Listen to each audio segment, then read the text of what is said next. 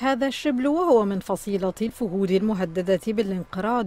أنقذه مسؤولون من وكالة البيئة في بيرو قبل بيعه في السوق السوداء. ووفقا للتقارير ترك مهربون الشبل في منطقة غابات بالقرب من نهر أوكاجالي بعدما علموا أن السلطات قادمة. مارسيال بيزو مسؤول من وكالة البيئة.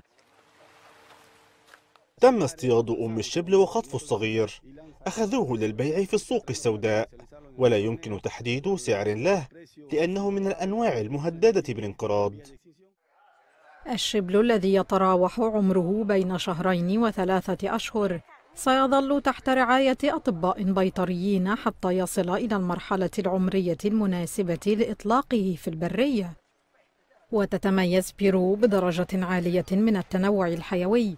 إذ تمتد أراضيها بين جبال الأنديز وغابات الأمازون.